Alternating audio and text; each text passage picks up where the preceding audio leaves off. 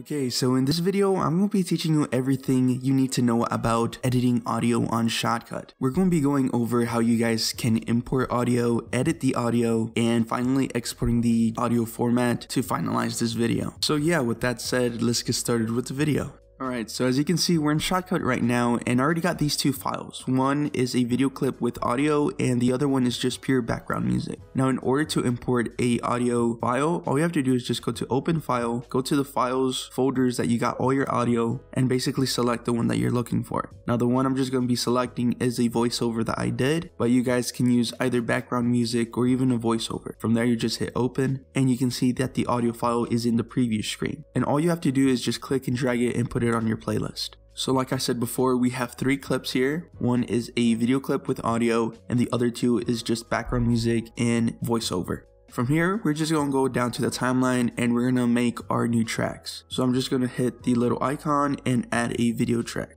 From there, I'm just going to select my video clip from the playlist and basically just drag it down all the way to the beginning so we don't leave any gaps. Now that we have our video clip ready, we're going to talk about how you guys can actually detach the audio off of this video clip. Maybe you guys don't want to use this audio necessarily, but there are a couple ways to do this. So the way that we can detach the audio from this clip is basically select on the clip, right click, and just go to detach audio. From there, a new track underneath our video clip will appear with our audio. So from here, you can just do whatever you want to do. You can either mute the audio or basically right click and just delete the whole track in order to remove the audio. And that's basically pretty much it. From there is just basically your preference on what you want to do with the audio. But now that we have detached our audio from our video clip, now we can replace that audio with the audio that we have using that same audio track. So I'm just going to pick the voiceover portion of the file and just basically drag it to that audio track where we used to have the other piece of the audio.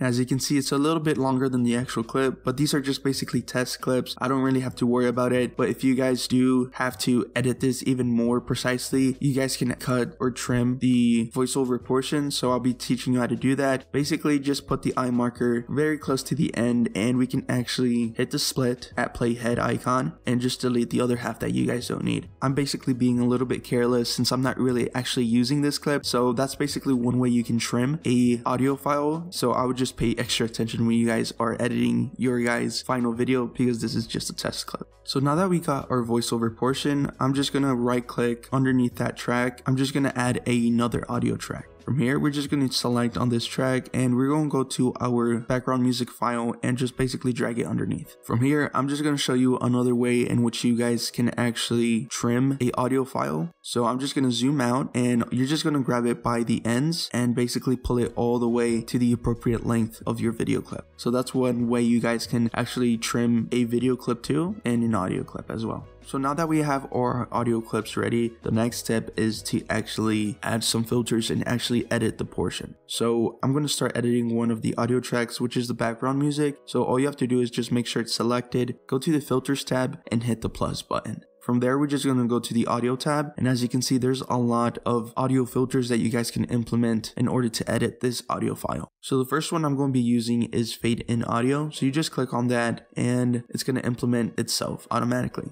I'm going to hit the plus button again and choose fade out audio. And as you can see, if you go to the beginning and to the end of the audio file, you'll see these little overlay shadows, basically signifying that there's a fade in and fade out element. The next thing we're going to use is a gain volume. So this is basically the filter that allows you to change the volume of your audio file. You can either pull this level all the way up to make it louder or all the way down to make it much more quieter. So what I'm doing here is just putting it as down as possible so it's not really that distracting when I'm doing my voiceover. And from here we just hit plus and we can basically mess around with all these little filters such as the noise gate, the pitch, the pan, and the mute filter. But we got all these filters available that you guys can actually mess around with and find the ones that you actually want to use when you're editing your audio file. So from here, we're going to basically do the same thing to the other audio file if you guys have a second one. So I'm just going to choose the voiceover track and we're going to go to filters, hit the plus button, and we're going to be adding a few filters to it. The first one that I'm going to be adding is a gain in volume and I'm actually going to increase the volume of this video file and we can just look around for the bass and treble and that's basically going to be basically an equalizer and just adjust your bass and trebles in your mids as well. So you guys can basically listen to this and basically adjust it and to find that sweet spot that you guys are looking for. And from there, we just hit the plus button. And as you can see, like I said before, there are many, many filters that you guys can add in order to make these edits sound a little bit better when you're working with your audio files. Now, there are some tools that will allow you to monitor the audio level inputs when you're editing on Shotcut. One of these tools is the peak meter tool. And as you can see, I've added it right here in between my playlist and the preview window. And it basically monitors all the different levels of audio throughout your whole video. So if we scrub around this video, you'll see the different high points and low points of your video ranging from different levels. And you'll be able to tell if the audio level is good by indicating it's green to when it gets a little bit higher, progressing to yellow and then to red, which usually at those levels, they get a little bit more distorted. And so it will be basically an indication of how good your audio's level are if you need to actually increase or decrease the volume of those files. So as you can see here in the top in these icons, these are all the different tools that Shotcut offers, including the peak meter tool if you guys want to use this as reference. Now the last part of this process is basically exporting your video. Now there's two ways you can actually do this. If you guys want a background clip or a video clip attached to your audio, well you can basically export this completely like a normal video like how it is now. And I actually have a very good exporting video showing you the best export settings that you guys can export a video with audio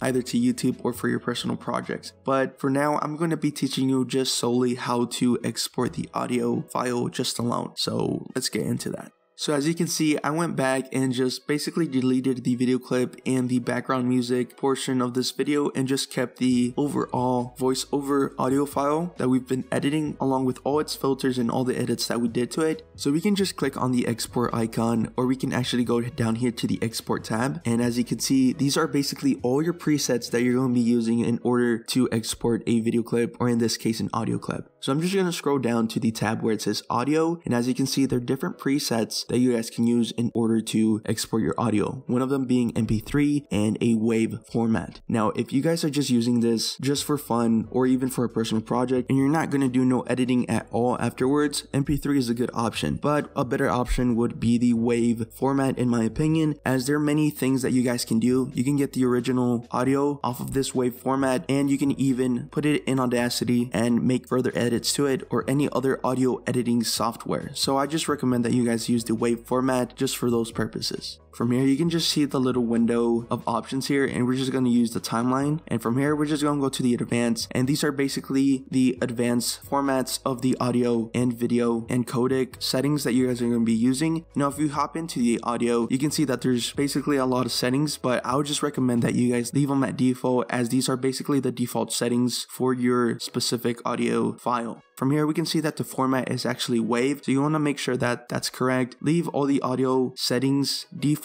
unless if you guys know what you're doing and basically can mess around to make it sound a little bit more better according to your own personal preference. But I suggest that you guys leave them at default for any regular use as it works really well. From here, we're just going to use the export file. Make sure that your file is actually named to whatever name you want it and just click save to whatever folder that you guys choose to save it to. And as you can see, if we go to the little jobs window, you'll be able to see that the audio file is actually exporting in the audio format that we want it to. It's basically on the way to export with all the settings and all the filters that we added to this video file. So that's basically how you guys can import, edit, and export a audio file using Now, if you guys want more tutorials, I do have a Shotcut tutorial playlist for you guys to see that has so many tutorials on how to edit videos on Shotcut as well well as some tips and tricks that you guys may learn throughout this playlist. Now, if you guys got any questions, feel free to follow me on Twitter to ask me, or you guys can leave them down here in the comments. But that's pretty much it. Thank you guys for watching, and I'll see you on the next one.